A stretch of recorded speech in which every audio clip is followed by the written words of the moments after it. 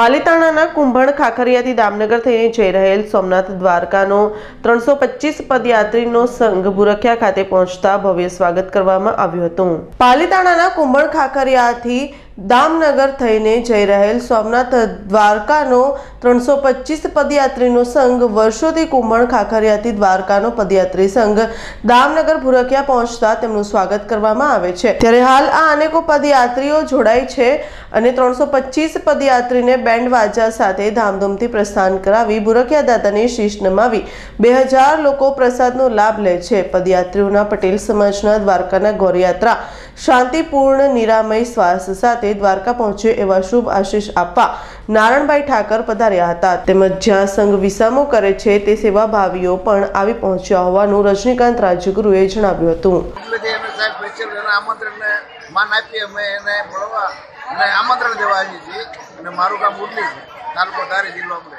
અને અમે ત્યાં ફૂલ સગવડતા નાસ્તા પણ રાખીએ છીએ. સવારમાં આઠ આઠ નવ ને આઠ બધા આવે.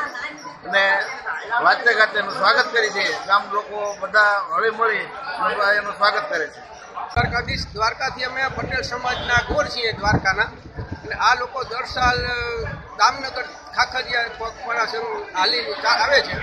એ લોકોને સ્પેશિયલ આશીર્વાદ દેવા માટે અમે આવ્યા છીએ સંઘ સુખરૂપ નિર્વિઘ્ને દ્વારકા પહોંચી જાય અને દ્વારકા સમસ્ત દ્વારકા યાત્રા કરી અને પાછા સુખરૂપ બધા પોતપોતાના ઘરે પહોંચી જાય એવા આશીર્વાદ દેવા માટે અમે દ્વારકાથી ખાસ આશીર્વાદ અશોક મણવરનો રિપોર્ટ અમરેલી.